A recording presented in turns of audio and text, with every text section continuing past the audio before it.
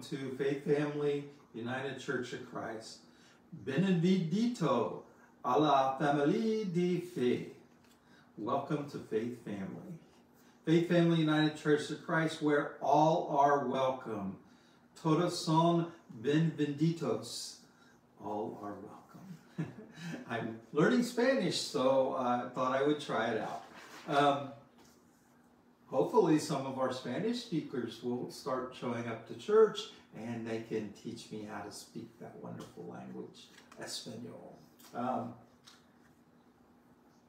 here at Faith Family, uh, we are an open and affirming congregation. We want all of God's children to come and worship with us. Um, we have a little saying here at Faith Family. It goes, at Faith Family, uh, no matter where you are on your life's journey or where you are on your spiritual journey, you are welcome here. Yes, all are welcome here. Um, announcements, a way of announcements. Uh, of course, we are not at our usual spot. We are not at uh, Congregation Beth Shalom. We are live streaming on Facebook. Um, I know that's a downer, and you can blame it on Debby. yes, Debbie Downer. Um, we felt that uh, we would just live stream the service, uh, service from, uh, from my beautiful living room here at uh, Sun City Center, and um, we would keep everybody safe at home. So hopefully everybody's tuning in and uh, we're worshiping together via the internet. In way of announcements, uh, we have a food fellowship and talk about the future. Um, that is canceled. that was supposed to be after service today, but we were canceled that. Um, we'll talk about that um, throughout the week with the council and see if we want to do pick it up next week. Um, although next week is our um, next week is our sacred talk on uh, race, diversity, and inclusion. Um, if you're uh, interested, on Tuesday evening, we at the Portico, um, they are screening a, a documentary, 1946, and it talks about um, what's it talk about, Cindy?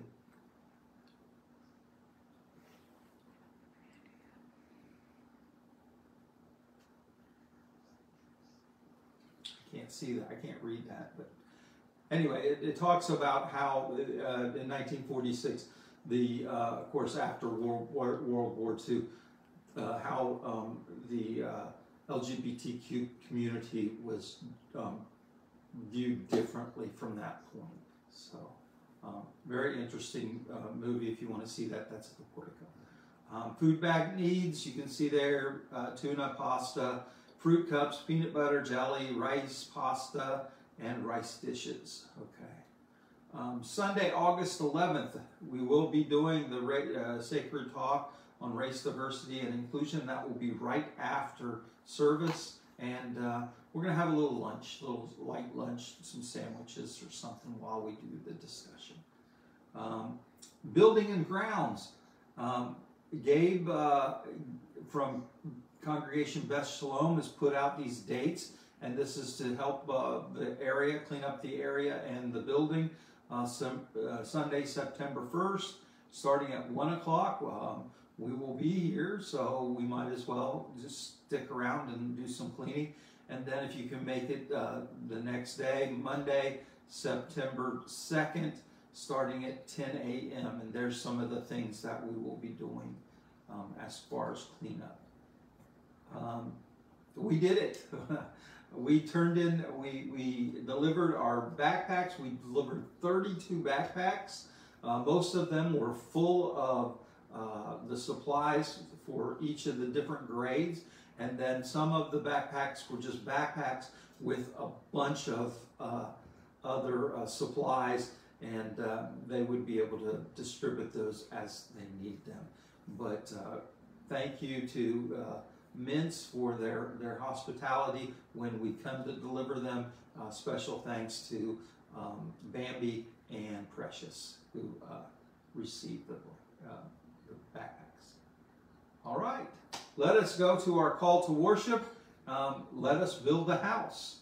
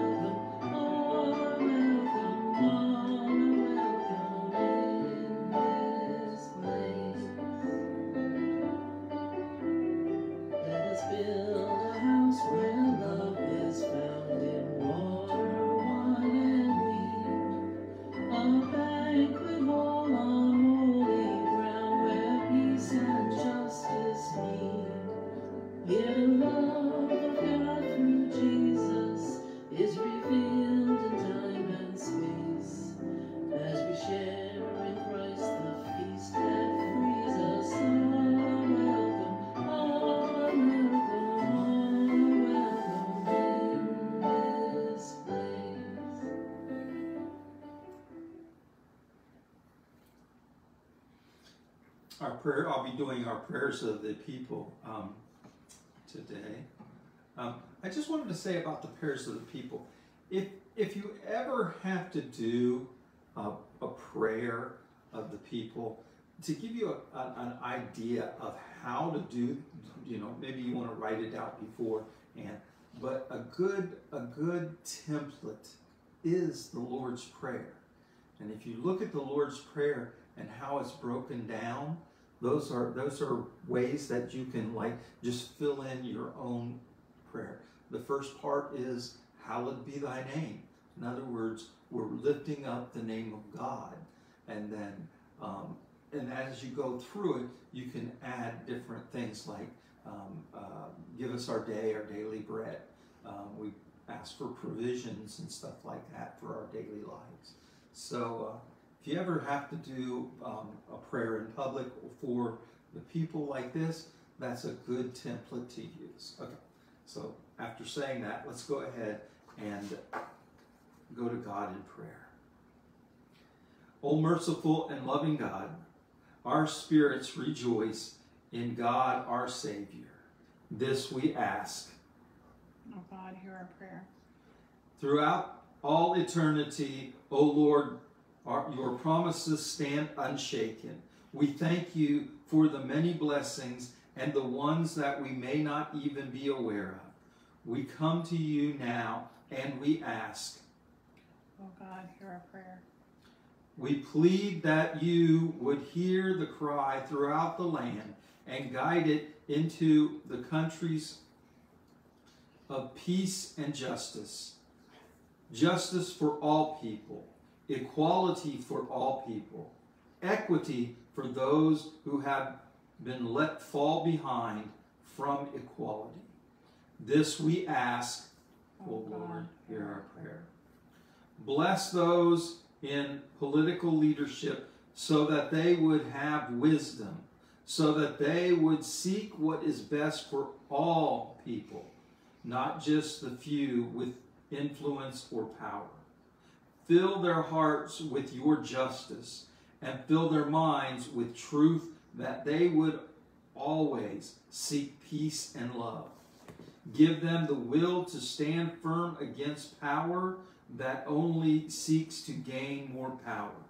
Give them the courage to stand in front of the powerful, in the gaps of the weak, and for the poor and oppressed. This we ask. Oh God, hear our prayer. Today we lift up those that are sick and in need of your healing hands.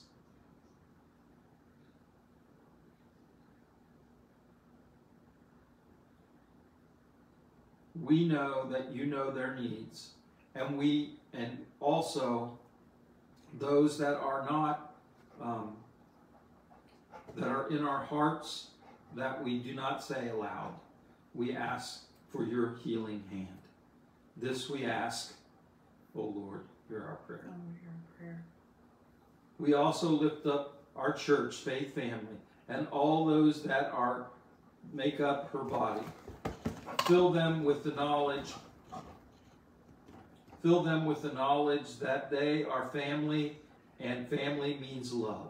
Touch their hearts and allow them to feel the love that we have for them. For all those here on this video um, streaming and those far off, um, all our brothers and sisters in our family. This we ask.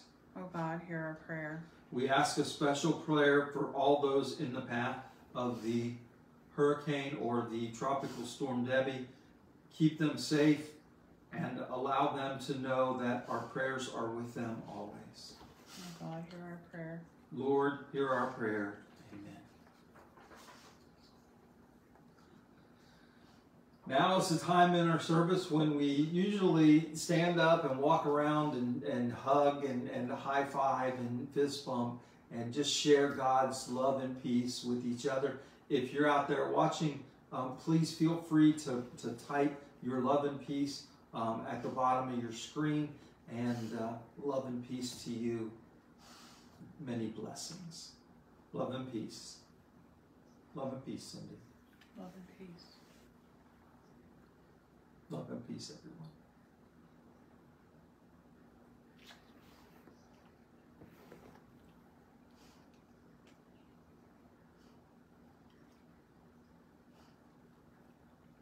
I, I found this song um, on the internet the other day, and I just I just loved it.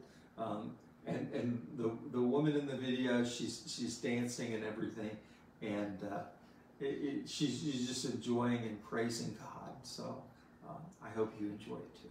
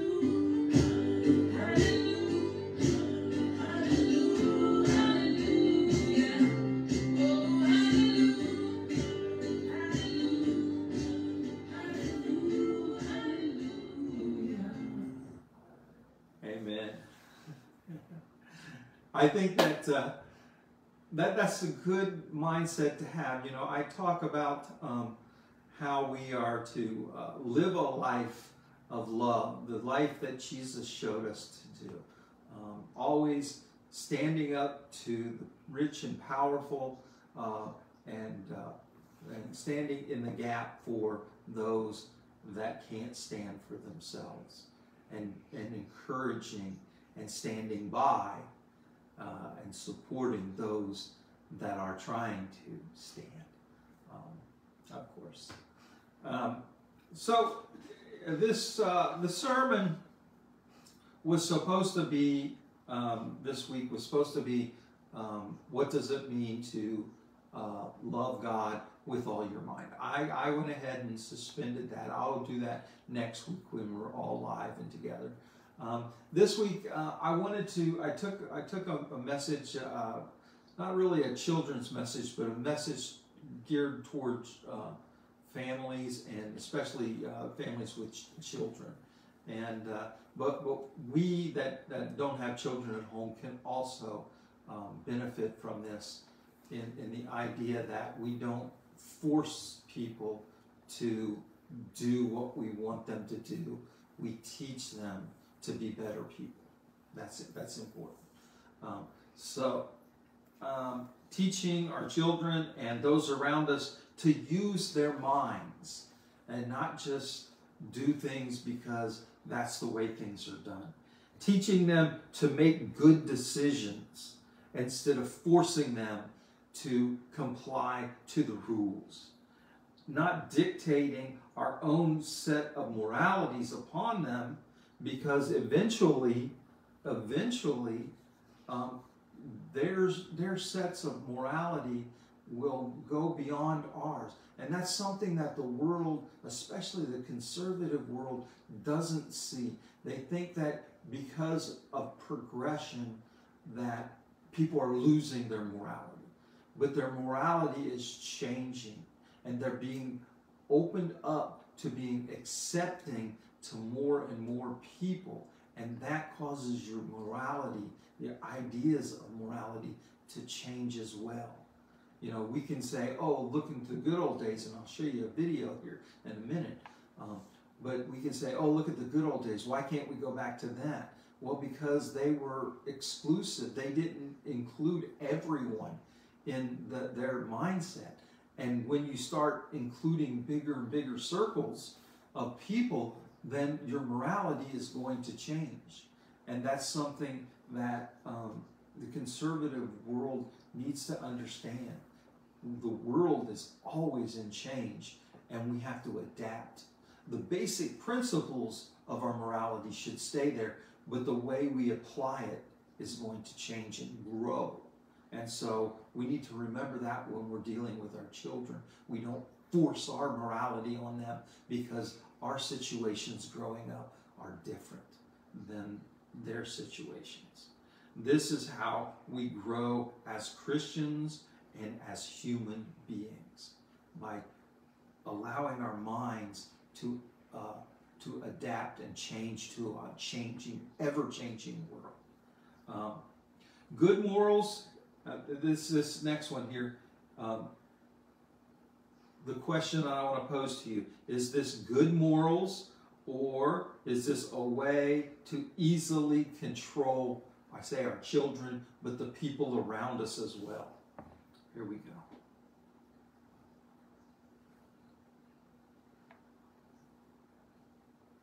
Sorry. We're seeing it on screen. Who's to say that the boy will be Look happier behind you. your way or mine? Why not let him decide?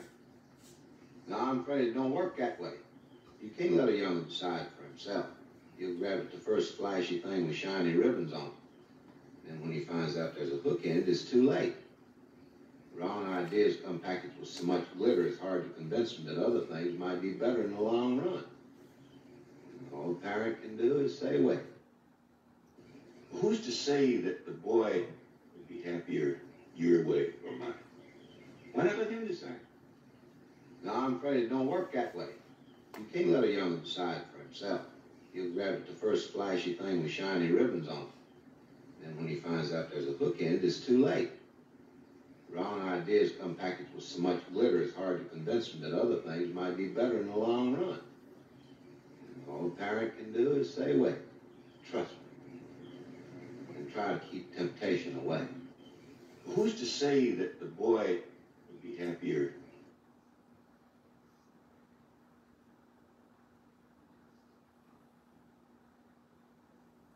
Hmm? So, what do you think about that?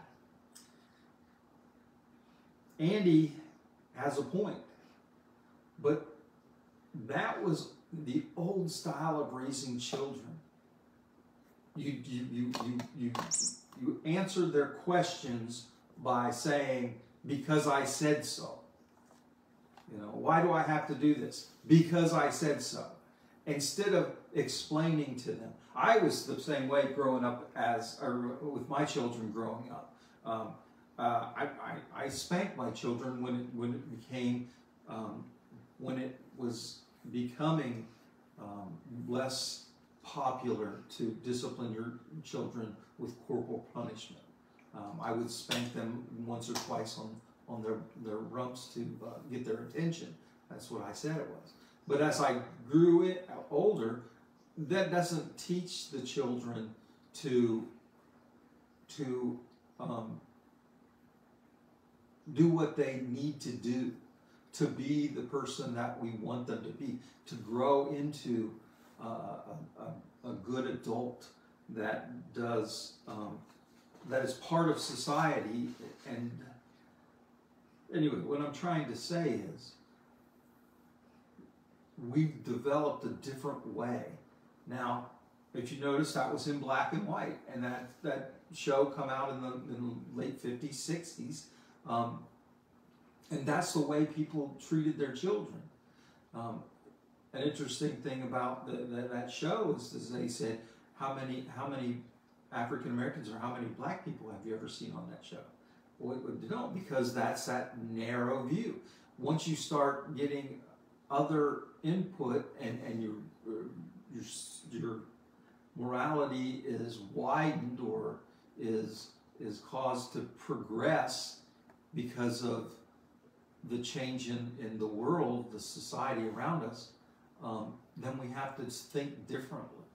And the way Andy approached his raising of, of Opie was to force him into believing and doing what Andy said instead of allowing him to um, experience things. However, keeping him from hurting himself. And see, that's that's the thing about raising children. We allow them to experience the things that they can. We give them advice to do what is right. This isn't right or that isn't right. We teach them the basic moral values and allow them to experience life the way they do.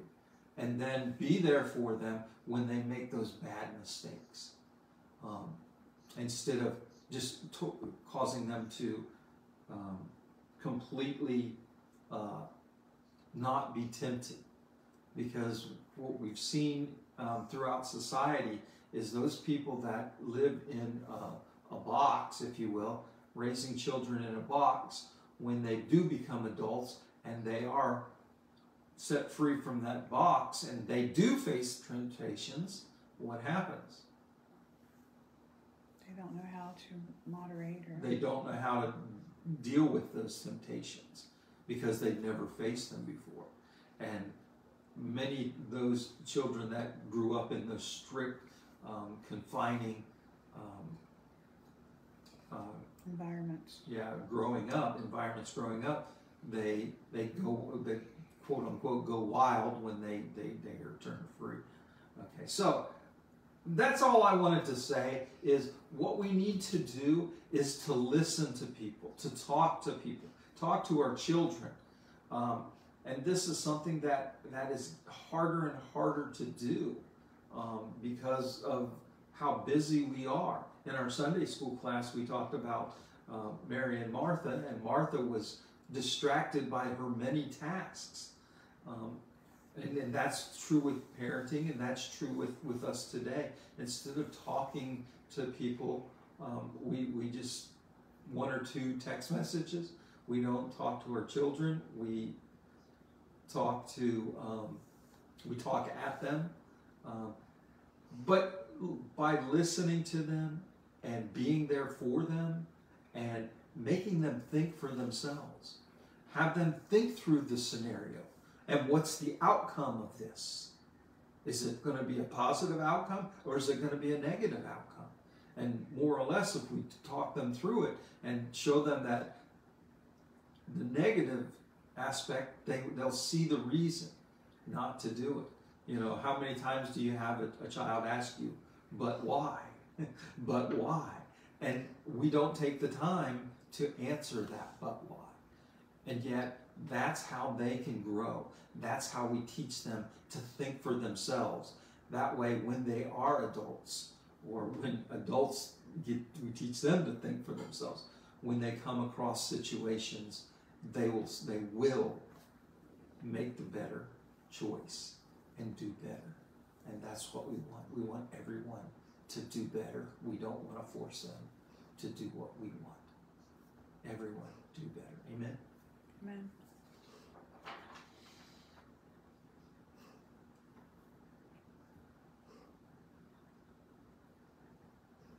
To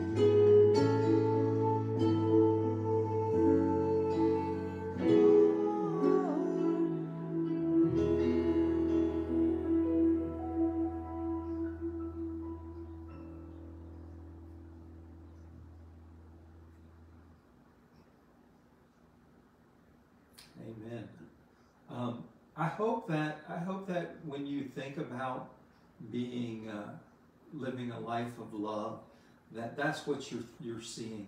You're asking God, the God is love, to come and to to be in you, and that your actions are actions that God is that love is doing to the world.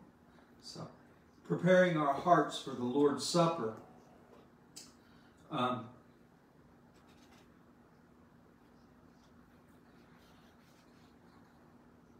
preparing our hearts. God of love, without boundary or condition, take from our hearts anything that is not of you. Take away all desire for power and leave with us a desire to live in harmony with all of your creation. Break our hearts open so that all falseness and judgment, all selfishness fall away, making room for you and your love. A love that we can share with all of creation. The bread. On the night that Jesus would offer himself so that all might know love, he called to himself all those that he loved and all that loved him, and he, ate with them. At the meal, he took the bread, he blessed it, and he broke it, and he offered it to them all, saying, Take this and eat. It is my body broken for you, my very heart broken open for you and for all. Eat this in remembrance of me. The cup. Then he took the cup, the cup of blessing, and raising it, he blessed it and passed it to them, saying, Take this cup and drink it. It is the cup of the covenant, a covenant of love. Love without boundary or condition, the cup of love that is poured out for you and for all. Do this in remembrance of me. As we do the prayer of consecration and transformation, um, if you would like to gather up uh, the elements, that would be a, this would be a good time. Um, I myself, I have gathered up. I have a, a cracker. Can you see that? I got a cracker uh, and um, some grape juice. So that will be my communion. Um, feel free to use bread or anything that uh, you have available. Um, I even uh, heard about one uh, one clergyman that was out on the streets and someone came up to him and asked him to um, to do communion, and all he had was a Reese cup and a bottle of Coke. And so he blessed the Reese cup and the bottle of Coke, and that became the communion. Um, so whatever you have available, feel free to use that. Um, we will bless those items right now. God, we ask you to take the simple gifts here, the, the, the gifts before us, whatever they may be, and we ask you to bless them and to, to entrust them to each and every one of us. Transform them into your spiritual food so that we may be whole and holy in you. We may become one in you as we become one body with each other, the body of Christ. In the name of the Creator, Christ, and Holy Spirit, amen.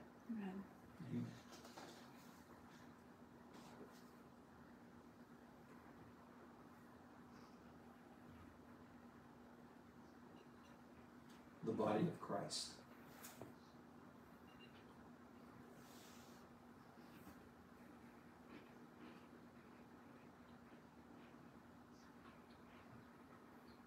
The cup of the new covenant.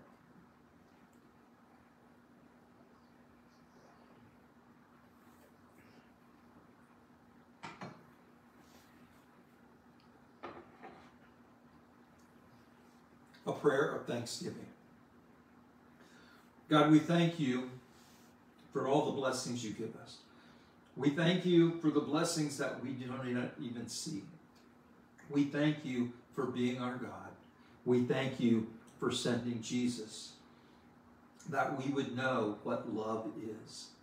And we ask that you place that love in our hearts.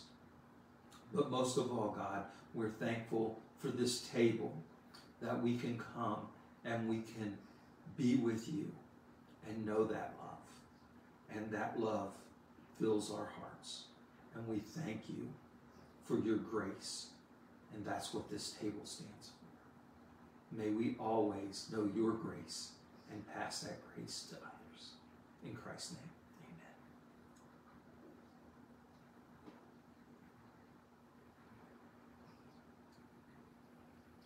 I forgot to do the, the, the Lord's Prayer before we took communion. So let's go ahead and do um, the Lord's Prayer together to show our unity with one another. Um, please feel free to use whatever language that you feel is closest, that brings um, God closest to your heart. I myself will use the, the, the, the term Father. Our Father, which art in heaven, hallowed be thy name. Thy kingdom come, thy will be done, on earth as it is in heaven. Give us this day our daily bread, and forgive us our trespasses, as we forgive those who trespass against us. And lead us not into temptation, but deliver us from evil. For thine is the kingdom, and the power, and the glory, forever and ever. Amen. Amen.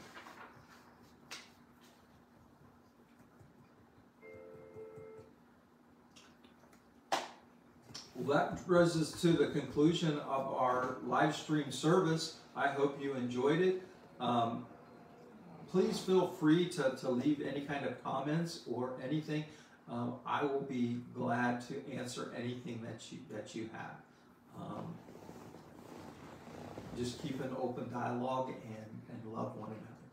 Let us close with our benediction um, to encourage and show our love to each other. Christ, Christ has no body but ours, no hands, no feet, nor wheels but ours. Ours are the blessings through which Christ's compassion is to look out on this world.